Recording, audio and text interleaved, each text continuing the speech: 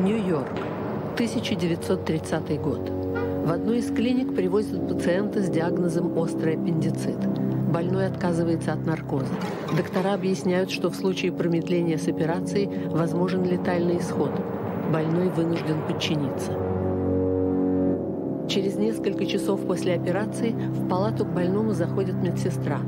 Вы так сильно сжали зубы, что мы всерьез испугались. Доктор боялся, что вы язык проглотите. Никто из медперсонала так и не догадался, что на операционном столе лежал советский разведчик, который боялся во время операции заговорить по-русски.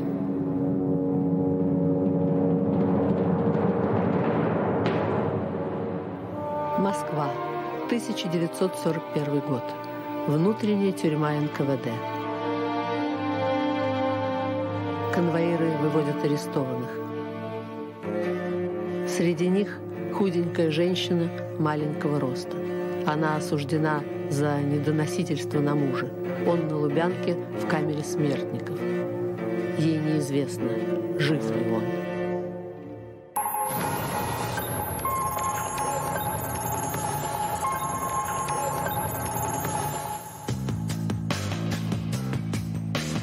именем Союза Советских Социалистических Республик – Предварительное судебное следствие установило, что подсудимый с 1933 года являлся участником заговорщической организации, существовавшей в органах НКВД.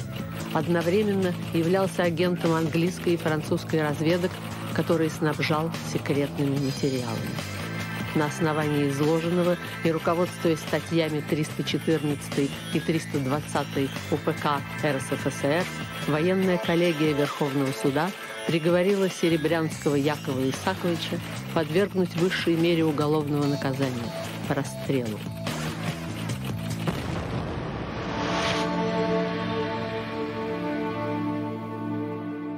Тогда, когда их арестовали, мне было пять лет.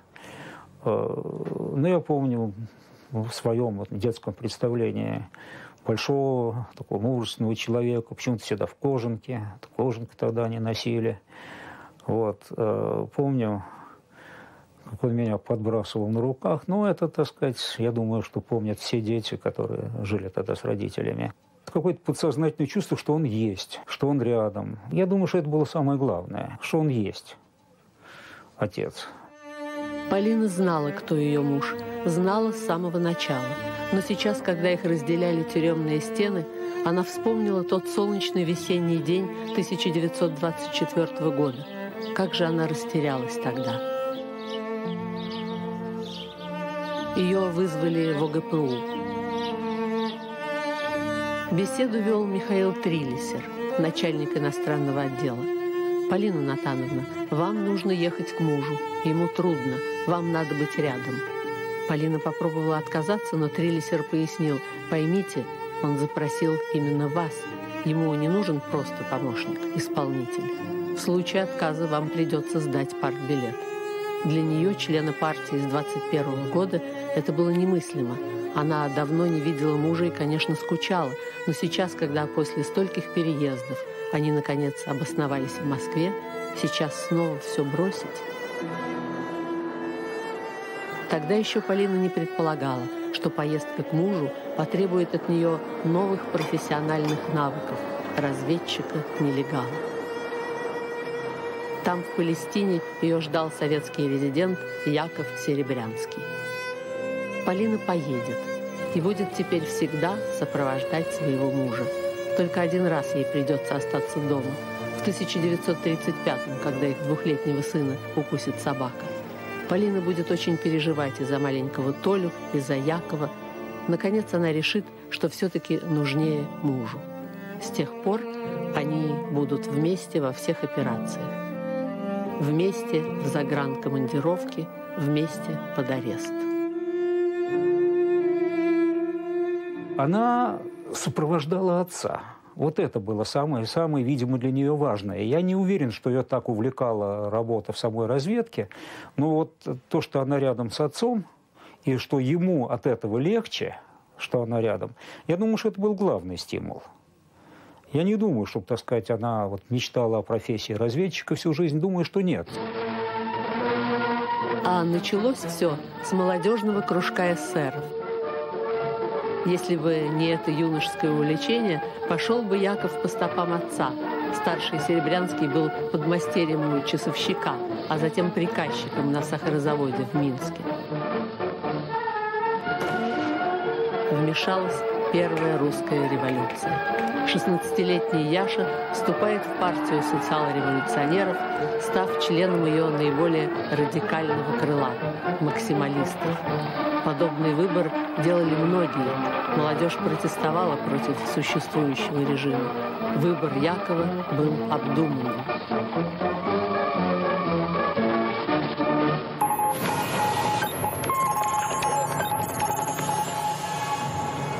В ноябре 1912 года имя Серебрянского исчезает из полицейских сводок. Его призывают в армию. Он не стал, в отличие от многих революционеров, скрываться от службы.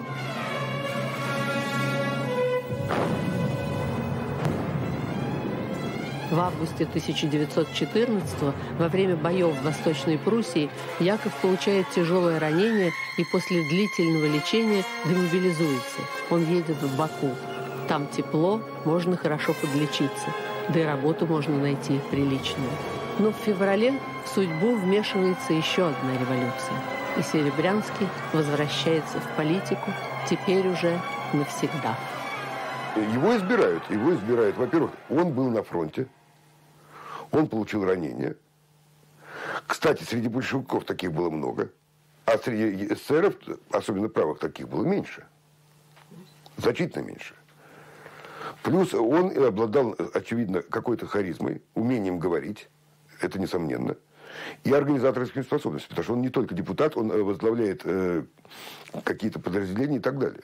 То есть он э, получается, так сказать, человеком на, месте авторитетным. Новая республика создавалась на глазах, и Серебрянский стал активным участником этой стройки. Может быть, тогда он поверил всерьез и принял эту идею. Вскоре Серебрянский переезжает в город Решт, иранский Азербайджан, куда 20 мая 1920 года входят части Красной Армии. Решт был провозглашен столицей созданной большевиками Гелянской Советской Республики со своей Красной Армией.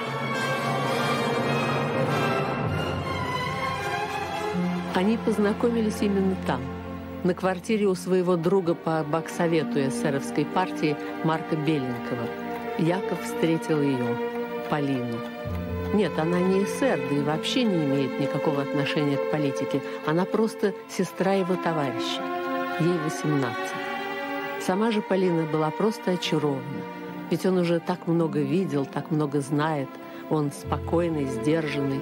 Чувствуется, что он уверен в себе – его голос тихий, речь вдумчивая.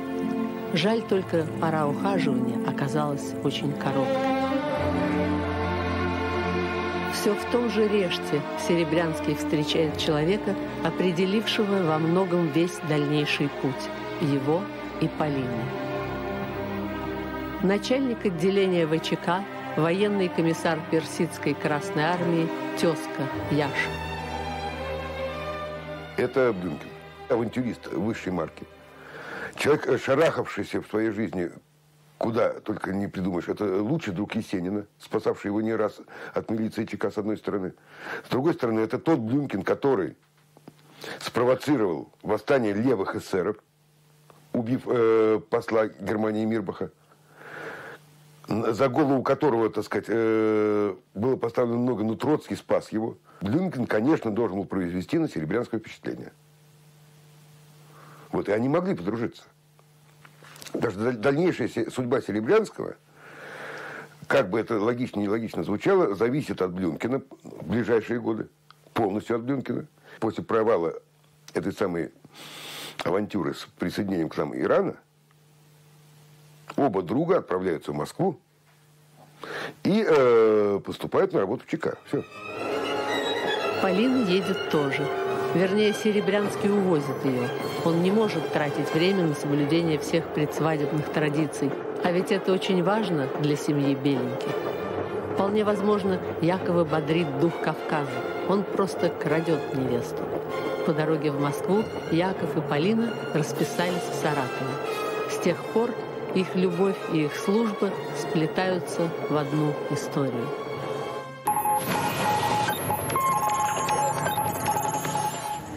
В Москве Блюмкин устраивает Серебрянского в центральный аппарат ВЧК. Однако служба продлилась недолго. 26 августа 1921 года он увольняется из органов. Яков поступает в электротехнический институт. Однако, не успев проучиться и одного семестра, он был арестован своими бывшими коллегами 2 декабря 1921 года. Его берут э, берет засада ВЧК, потому что следит не за ним, а за московскими крупными э, правыми эсерами, э, в квартире которых оказывается за чашкой чая э, наш уважаемый герой. В принципе, так сказать, после нескольких допросов они понимают, что он никакого отношения не имеет к организации, особенно к московскому центру. Вот он отпускается, правда, с, как я уже сказал, э, с формулировочкой, предупреждающей их, э, никуда его не брать на ответственную работу как-то в органы, в прокуратуру, в суд и в МИД. В октябре 23 года, работая в редакции «Известий», Яков Серебрянский делает окончательный политический выбор. Вступает кандидатом в члены ВКПБ. В это же самое время другой Яков собирается в Палестину. Блюмкина ждет нелегальная работа по линии внешней разведки. Здесь нужен надежный помощник. И снова Блюмкин рекомендует Серебрянского. Причем чекистское руководство как будто забывает о своем недавнем решении запретить Серебрянскому работу в органах. Все очень быстро меняется. Сегодня отвергнутый, а завтра уже особо уполномоченный закордонной части иностранного отдела ОГПУ. Еще не раз предстоит Серебрянскому этот путь из огня до в. Но пока оба Яши, Блюмкин и Серебрянский, выезжают на землю обетованную в город Яффу. Тогда, в 23-м, председатель ОГПУ Феликс Дзержинский по решению Политбюро поставил задачу проникнуть в боевые органы сионистов, чтобы использовать их для противостояния британскому влиянию на Ближнем Востоке, а заодно, имея плацдарм в Палестине, попытаться проникнуть в жемчужину британской короны Индию. В этом э, Серебрянский с Блюмкиным преуспели. Около 30 агентов они получили в руководстве сионистского движения. Часть из этой агентуры – искренне решила работать на молодую тогда Советскую Республику. Основной задачей Блюмкина и Серебрянского стал сбор информации о планах Англии и Франции. Однако они преуспели в другом. Уже тогда им удалось завязать прочные связи не только в Яффе, но и в других палестинских городах. Разведчики-нелегалы создавали агентурную сеть отец все-таки, ну, в какой-то степени был э, склонен вот к таким вот к авантюризму, что ли, вот в хорошем смысле этого слова. В моем понимании, значит, авантюризм – это не Значит, авантюра – это склонность к импровизации, вот, во-первых. Э, вот, и, так сказать, балансирование на грани, так сказать, э, от опасности. И вот этими свойствами, безусловно, каждый разведчик должен обладать, на мой взгляд, так сказать, не профессионала, как вы понимаете. Вот. Э, работал бы он на другой стороне, Думаю, что нет. Просто почему? Я думаю, что все его прошлое. Все-таки он происходил из небогатой семьи.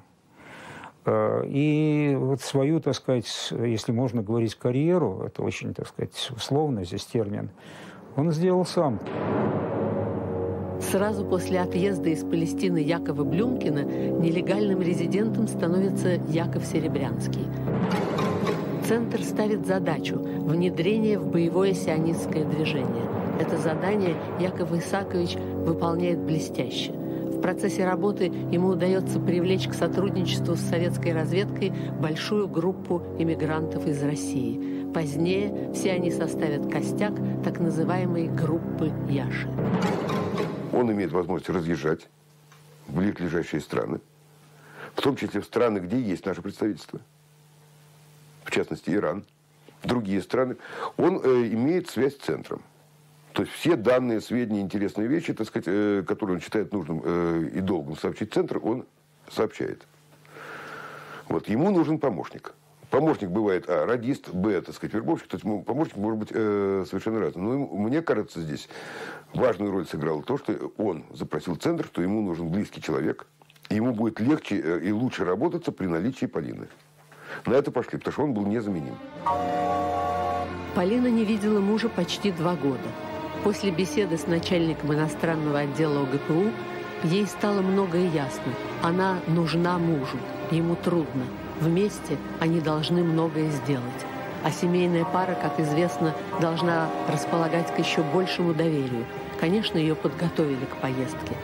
Яков не захотел вызывать постороннего человека, как это делали многие разведчики. Всеми профессиональными качествами он обладал сам, хотя нигде этому и не учился. Его природный талант вербовщика, аналитика, конспиратора на самом деле не нуждался ни в ком. Видимо, главная причина их встречи была в другом. Выезжала как жена, это формально.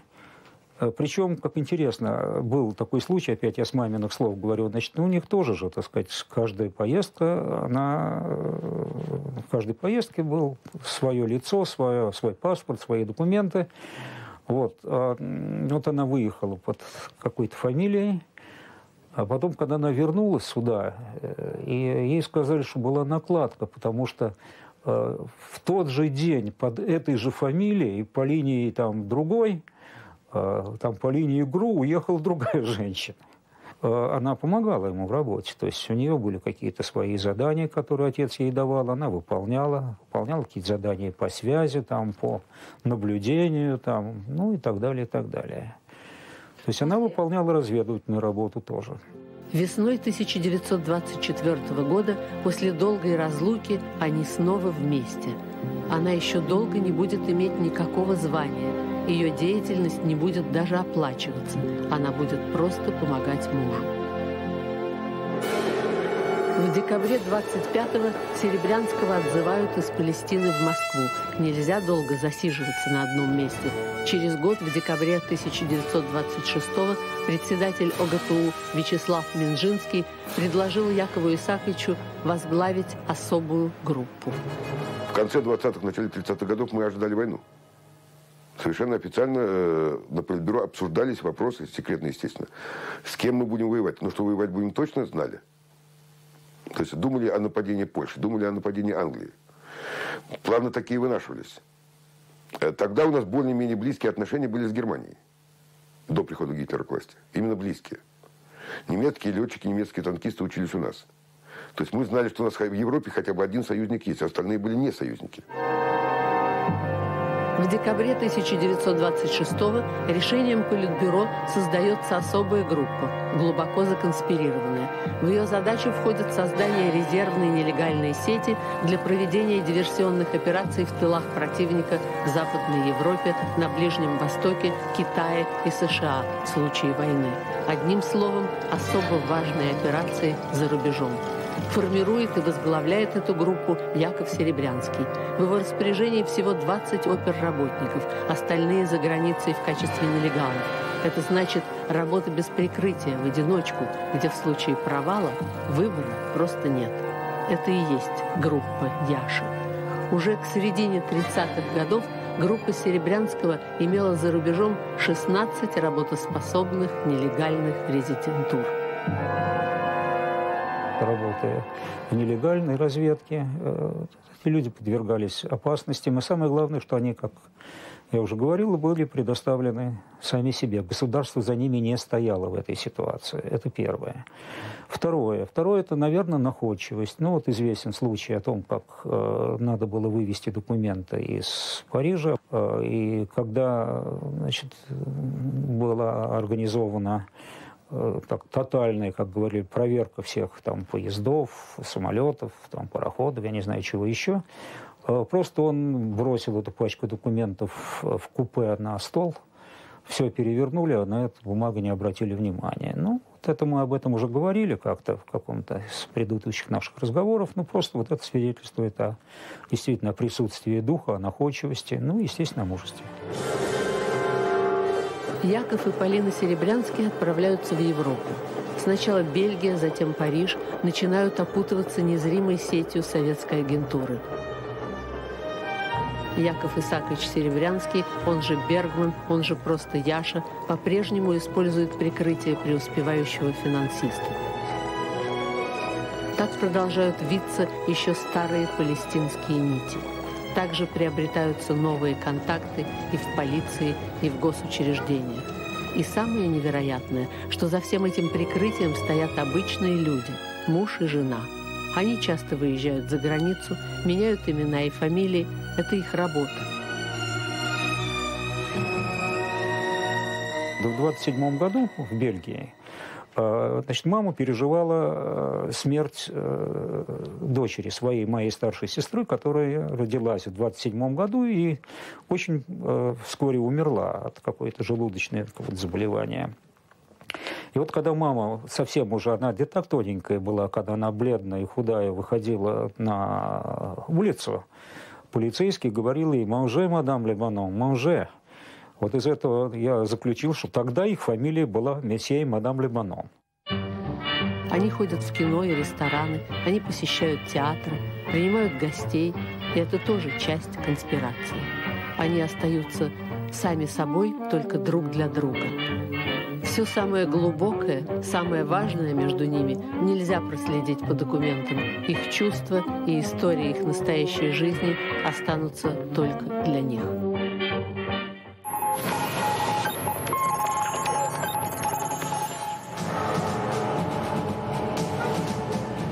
В начале 1930 года всю русскую эмиграцию во Франции потрясло известие.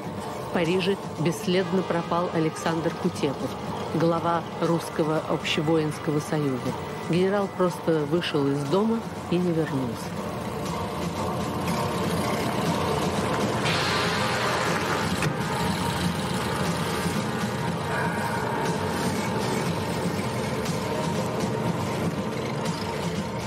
Конечно, все понимали, что исчезновение связано с деятельностью Кутепова. После смерти барона Врангеля генерал решил активно действовать в борьбе против большевизма. Диверсии Ровса стали серьезно волновать советское правительство. Для тех времен это была выдающая операция. С одной стороны, ну, э, как выяснилось, не такая сложная с другой. То есть, по идее, похитить руководителя крупнейшей антисоветской организации крайне сложно. И готовились с ней соответственно. Потому что в Париж выехало шесть человек из Москвы, из разных отделов. На месте две резидентуры работали тоже на эту же операцию. То есть выяснялось все, как Кутепов живет, куда ходит, на чем ездит, кто его охраняет. Планировал все Серебрянский, он жил в Париже. Но он нигде не высовывался. То есть его нету в операции. Он держит все нити в руках. Были варианты и брать с охраны, то есть были варианты разные. И в форме полиции, и без формы полиции. То есть э, и ворваться в кабинет. То есть рассматривались все варианты доскональнейшим образом. Потому что в данном случае, вот, опять же, Серебрянский, которого никто не учил этому, он стал аналитиком, он э, стал, э, в данном случае, он великолепно спланировал эту акцию. С началом гражданской войны в Испании группа Яши участвует в нелегальных поставках оружия республиканскому правительству. И НКВД, и военная разведка с начала конфликта снабжали республиканцев оружием, переправляя его всеми доступными способами. Но морские пути были под немецким прицелом, а поезда застревали на таможнях. Испанцам были нужны новые самолеты, и Яков Исакович разрабатывает одну из самых дерзких своих операций. Серебрянский купил хорошие самолеты для третьей страны. Французы, бизнесмены, конечно, продали. Но чтобы самолеты купить, надо посмотреть, работают они, летают, нет. Вот поэтому Серебрянский купил, э, организовал покупку самолетов, э, подготовил аэропорт, аэродром, вернее, какой аэродром? И, естественно, подальше от... Не в Париже, в Лебурже это все э, демонстрировать, а где-нибудь подальше от глаз. Летчики сели в машины, взлетели, самолеты оказались э, летучие. Ну и полетели куда надо, там ждали. 13 июня 1934 года, через три дня после образования НКВД СССР, группа Яши получила официальное название – оперативная группа особого назначения. За 16 лет нелегальной работы за границей Яков Серебрянский не вызвал подозрения ни у одной спецслужбы мира. Однако осенью 1938 года Серебрянский с женой были отозваны из Парижа.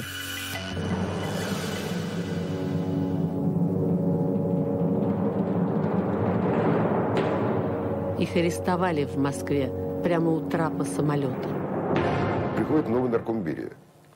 И все люди, как-то связанные с Ежовым, и как-то связанные со старыми чекистскими кадрами, попадают не по подозрению. Просто на Серебрянского начинают давать показания. Его друзья, его товарищи, его соратники. Арестовывается фактически 56% иностранного отдела. Люди, которых Серебрянский очень хорошо знал, с кем работал, с кем дружил. Многие дают показания, с кем ты э, был, э, э, условно говоря, во Франции, когда тебя завербовала французская разведка. Ответ. В это время там же находился Серебрянский, который возглавлял там свою нелегальную группу. Вот, пожалуйста, так сказать, надо копать под Серебрянского.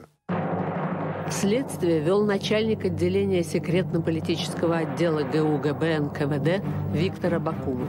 На протоколе от 12 ноября 1938 года появляется резолюция Берии – товарища Абакумову хорошенько допросить. Конечно, эта резолюция не стала причиной конвейерного, а проще говоря, просто зверского метода дознания, но, естественно, усилила рвение следователей. Спустя четыре дня на допросе с участием самого Берии, который проводили начальник второго отдела Богдан Кабулов и Абакумов, Серебрянский был избит, и его принудили дать ложные показания. На допросы все продолжались. Обвинительное заключение появилось только спустя два года. Суда пришлось ждать еще год. Яков Исакович Серебрянский пробыл в застенке три года. Но верх цинизма власти в другом. Все это время Серебрянский продолжал работать. Он писал специальный учебник по разведывательно-диверсионной работе. Труд неоценимый для внешней разведки. Что он думал тогда о своей судьбе? Жил ли он с обидой или ненавистью? Скорее всего, Серебрянский хорошо знал цену руководителям того времени. Скорее всего, он понимал закономерности маховика репрессий в Советском Союзе и то, как эти репрессии регулировались на самом верху. В день заседания военной коллегии Серебрянский решил идти до конца. Он не признал себя виновным, заявил, что оговорил себя по причине так называемых физических методов воздействия. Руководствуясь статьями 314 и 320 УПК РСФСР, суд приговорил Серебрянского Якова Исаковича подвергнуть высшей мере уголовного наказания расстрелу.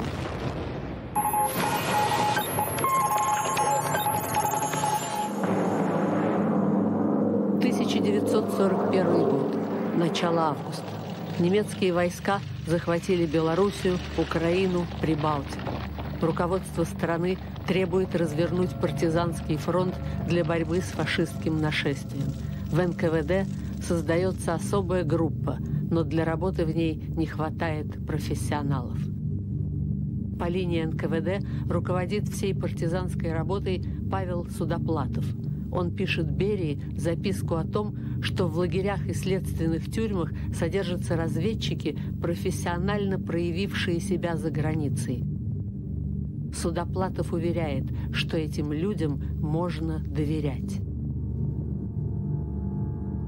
Был приказ Берия, все перечисленные люди были освобождены из тюрьмы или с пенсии, с э, второстепенных работ. То есть все были возвращены в органы, им дали последнее звание. В списке был Серебрянский. И Полина Натановна, конечно. А Полина Натановна к этому времени лейтенант государственной безопасности им возвращается все. Вплоть до вступления в партию и так далее. То есть э, не было никогда ареста, забудьте.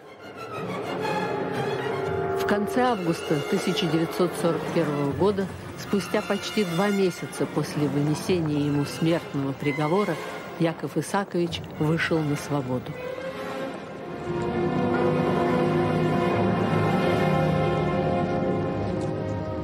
Приехали с мамой на вокзале, Вдруг, значит, какой-то совершенно вот огромный мужчина в кожанке подхватил меня, подбросил высоко-высоко. Я совершенно его не помнил. Но когда мне было пять лет, что я мог запомнить? И вот первое впечатление, что вот я лечу вверх, и меня подхватывают руки отца, это, конечно, на всю жизнь. Ну, я не помню, чтобы он там меня целовал, там как-то. Ну, вот так за плечи обнимет, вот постоит со мной так. Ну, каких такого вот лизаний и сюсюканье с его стороны я не помню совсем. Теперь Серебрянский будет организовывать операции по сопротивлению фашистам. Его знания окажутся необходимыми при развертывании массового партизанского движения в тылу врага. А как пригодится его опыт в создании резидентур глубокого оседания? Серебрянский будет находиться на новой волне вдохновения. Он станет смотреть и просчитывать далеко вперед вербуя военнопленных немецких, австрийских, итальянских, Серебрянский подготовит резерв к атаке в будущей холодной войне. Запах мази Вишневского – одно из самых ярких воспоминаний Полины о тех первых днях на свободе. Выйдя из заключения, она долго лечилась от ревматизма. Больше она не принимала участия в операциях мужа, по крайней мере, официально. Но даже тогда, когда все стало налаживаться, она не забыла, как в далеком, теперь 1935 году, не смогла сопровождать Серебрянского в Японию, как осталась дома с больным сыном, как переживала за мужа. Полина понимала, что ничего не изменилось с тех пор, что она по-прежнему очень нужна Якову. Ну, в основном мной занималась мама. Занималась фундаментально. То есть меня сказать, заставляли, я благодарен бесконечно за то, что так сказать, меня вовремя это заставили это, заниматься английским. Я помню, мы, значит, ну вот э, каждый, начиная с какого-то момента, каждый вечер мы обязательно садились и прочитывали главу, я помню, из Вальтер Скотта, из Айвенга. Обязательно. Вот надо было начать и кончить. Ну, слава богу. Я ужасно жалею, что я э, не выучил французский язык. Ну, потому что когда они хотели говорить так, чтобы я ничего не понимал, они переходили на французский. Яков Исаакович Серебрянский прошел всю войну. Он лично организовывал разведывательные операции за линией фронта перебрасывал в тыл противника несколько оперативных групп и агентов-одиночек. В 1943 году старший майор госбезопасности Яков Серебрянский должен был получить генеральские погоны. И это историческая несправедливость, потому что он был, э, когда э, э, его нынешние начальники, и Судоплазма, и Дингон, еще, скажем так, лейтенантах ходили, он уже был старшим майором. Он получил свой ранг в 1935 году. А это генеральский ранг. Но генералу не дали. Орден Ленина наградили, но генерал он так и не получил. В 1946 году министром госбезопасности был назначен Абакумов, и Серебрянскому пришлось выйти в отставку. Так называемая заслуженная пенсия. Возможно ли это с разведчиком такого масштаба? Конечно же нет.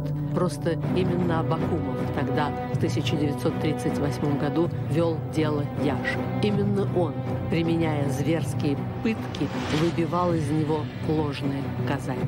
Впервые за долгие годы напряженной работы Яков Исакович получил возможность отдохнуть. Он занимался переводами и наблюдал. Ему, человеку, знающему всю систему изнутри, не составляло труда разгадывать, словно шифровку, все происходящее в стране. Спустя семь лет после очередных кадровых перестановок о Серебрянском вспомнили снова. Как и прежде, органам госбезопасности нужны были профессионалы. Шел 1953 год. Он понимал, что это его работа, что это его профессия, действительно, которую он отдал очень много лет сил и знаний. И он, конечно, был очень доволен, что эти знания и силы, и умения снова востребованы.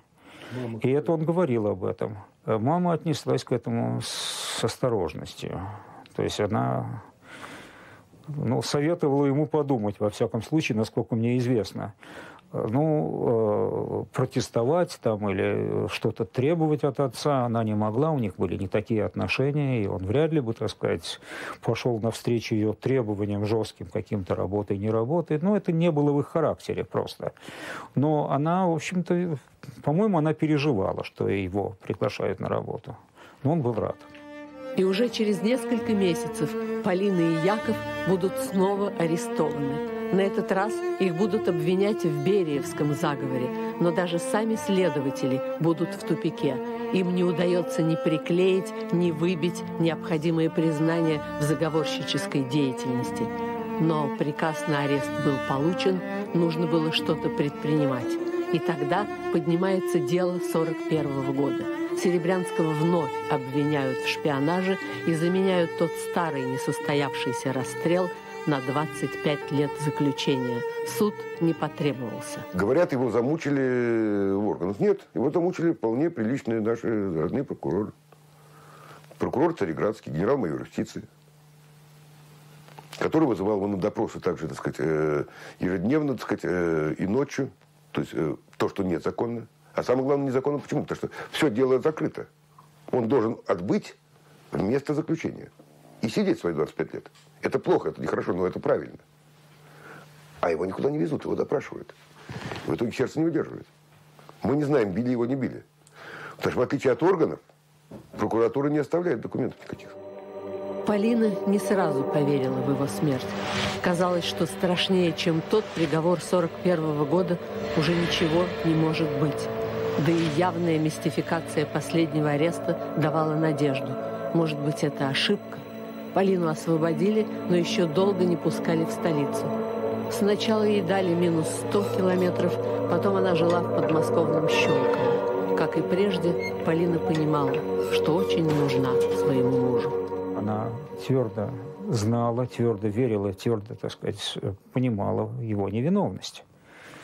Ну, и сами власти-то, в общем-то, так сказать, отдавали себе отчет в его невиновности.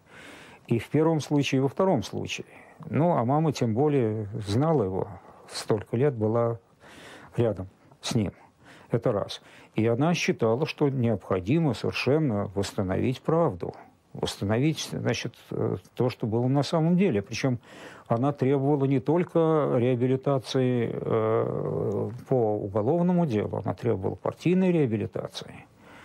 Ну, потому что человек, так сказать, ну что первый раз, когда отцу э, дали справку, не, не, не отцу, маме дали справку о том, что отец, значит, реабилитирован, э, написали так, э, что не, не то, что он реабилитирован, а написали, что дело прекращено ввиду отсутствия доказательств его причастия к преступлению. Знаете, какая мерзкая формулировка.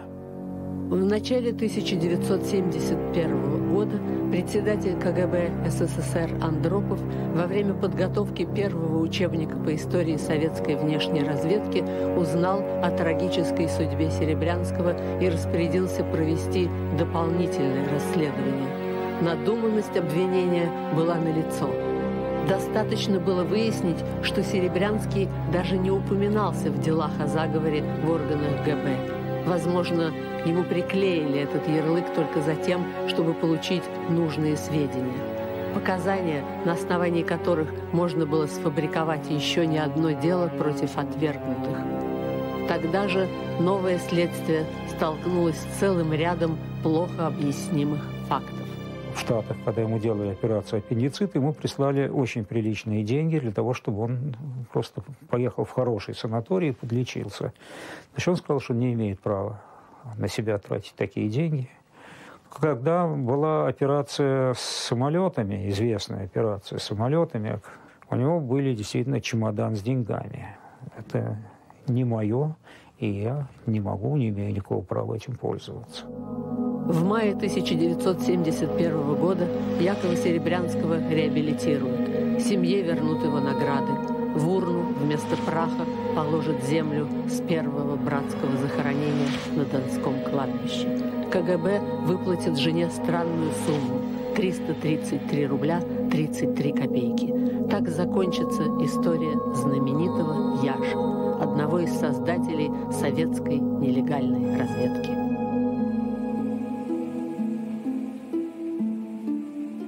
Полина переживет Якова на 27 лет. По-прежнему худенькая, маленького роста, она еще долго будет оставаться привлекательной. Однажды ей даже предложат выйти замуж, очевидно, не догадываясь о главном ее предназначении. Полина откажет. Эта фотография единственная, где они вместе. Двадцатые годы. Еще совсем недавно Яков похитил невесту и привез в Москву. Впереди еще долгая жизнь. Они и не догадываются, как часто все будет меняться в их судьбе. Полина еще не знает, что значит любить разведчика-нелегала, пока она просто решила всегда быть рядом с ним.